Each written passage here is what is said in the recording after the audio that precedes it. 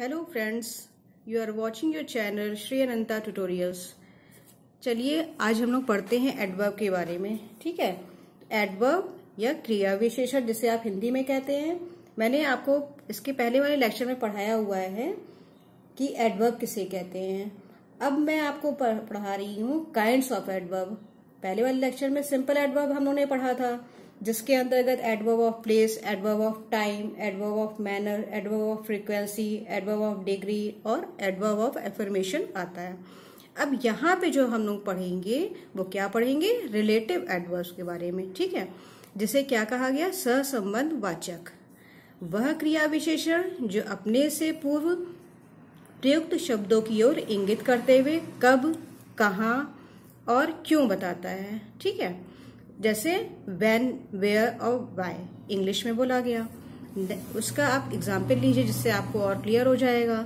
Let me know when Ayush will return अब adverb of time की बात कर रहे हैं। अगर टाइम की बातें हो रही हैं तो ये वाला आपका सेंटेंस बिल्कुल सही रहेगा। ठीक है? अब यहाँ पे पूछ रहा है वेन क्लियर हो गया। वेन मतलब कब? This is the city where Sona will meet again अब यहाँ पे है। प्लेस के बारे में बता रहा है।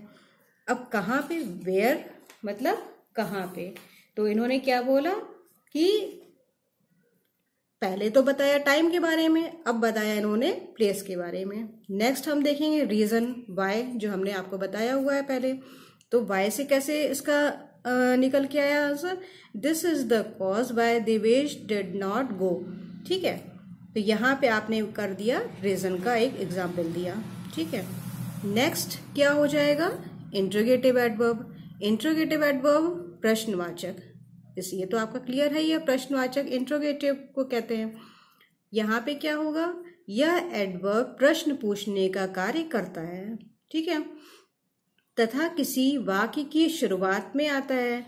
अब वाक्य की शुरुआत में, जब तक आप सेंटेंस नहीं देखेंगे, आपको क्लियर नहीं होगा कि वाक्य की शुरुआत में कैसे आया। तो इसका सेंटेंस क्या हो पाएगा यहाँ पे? अब पहले तो आप देखिए कौन कौन से शब्द हैं जो वाक्य के शुरुआत में आते हैं तो how far how many how much when etcetera ये सारे आपके आते हैं। अब आप इसका एग्ज़ाम्पल देखेंगे। Where is Anshi why Nitin is sad how many girls are there in Pihu class तो इस तरह से आप सारे सेंटेंस को देख सकते हैं। ठीक है? अब यहाँ पे मैं आपको बताऊँगी कि एडवर्ब का जो यूज़ किया जाता है, ठीक है? किस प्रकार से बनाए जा सकते हैं और भी एडवर्ब किसी आप कोई भी वर्ड लेते हैं तो उसे चेंज करने के लिए आता है ना कि इसे एडवर्ब में चेंज करिए। नाउन है तो उसे एडवर्ब में चेंज किया या एडजेक्टिव है तो कैसे चेंज किया? तो इस तरह से जितने भी चेंजेस होते हैं वो कैसे किए जाते हैं वो मैं आपको बताऊँगी।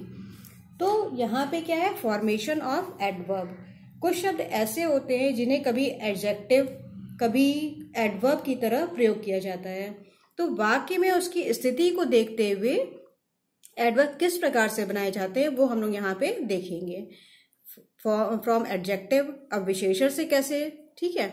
तो काइंड है kind beautiful quick regular ready nice ये सब आपके क्या है? विशेषण है। इसको हम लोगों ने कैसे चेंज किया? काइंड से काइंडली हो गया। Beautiful beautifully quick quickly regular regularly ready readily nice nicely okay अब क्लियर हो गया होगा आपको। नेक्स्ट आप क्या देखेंगे? फ्रॉम नाउन्स एंड एडजेक्टिव्स अब यहाँ पे जो वर्ड्स आते हैं कौन कौन से आते हैं? यस्टरडे है meantime otherwise some time etcetera ऐसे बहुत सारे वर्ड्स होते हैं जो आप ले सकते हैं। नेक्स्ट क्या है? फ्रॉम कंपाउंडेड प्रिपोजिशंस अब इसमें कौन कौन से वर्ड्स आए? Therewith, thereof, thereon, thereby, etc. Herewith, hereby, hereafter, herein, etc. Henceforth, henceforward, forward, etc.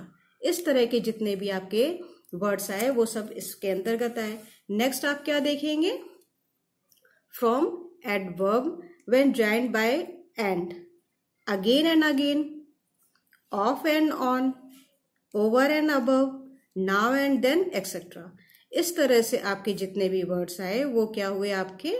अब फॉर्मेशन ऑफ़ एडवर्ब हुए। किस तरह से आप एडवर्ब को के चेंज करते हैं, उसको एडवर्ब लाने के लिए किस तरह से चेंज किया जाते हैं, वो आपने यहाँ पे देखा। आई होप कि आपको आज इतना समझ में आया होगा। मैं लेक्चर को ज़्यादा बड़ा नहीं करूँगी, जिससे जो है आपको कन्फ्यूज़न हो जाए।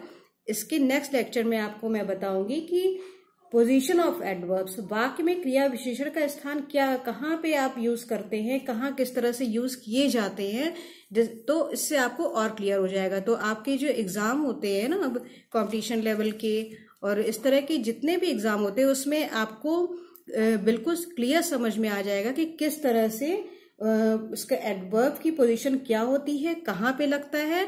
इससे आपके क्वेश्चन जो होंगे, उसके आंसर आप इजीली दे पाएँगे। क्लियर तो आप इसको अच्छे से पढ़िए। कमेंट सेक्शन में आप लिखिए, आपको कुछ समझ में आता है तो आप उसमें बताइए, नहीं समझ में आता है तब भी बताइए। और बेल आइकन को दबाइए, जिससे कि जितने भी आगे मैं लेक्चर आपको बता रही हूँ, दे रही हूँ, आपका पता चलता रहे, आपको क्लियर होता रहे। ठीक है? और अपने फ्रेंड्स को भी ये आप शेयर करिए और उनसे भी बोलिए सब्सक्राइब करें इस चैनल को ताकि जितने भी वीडियोस मैं डाल रही हूँ तो घर बैठे वो भी इसका बेनिफिट उठाएँ। ठीक है? Okay bye bye